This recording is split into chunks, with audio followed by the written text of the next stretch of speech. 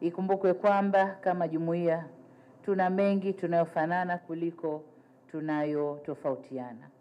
Hivyo kamwe tusiruhusu tofauti ndogo ndogo kutia doa uhusiano na ushirikiano wetu uliolelewa na kuenziwa na waasisi wetu. Ni jukumu letu kuhakikisha tunaleta mtangamano huu, mtangamano huu hadi kufikia um, kwa ajili ya vizazi vyetu vijavyo au vya baadaye.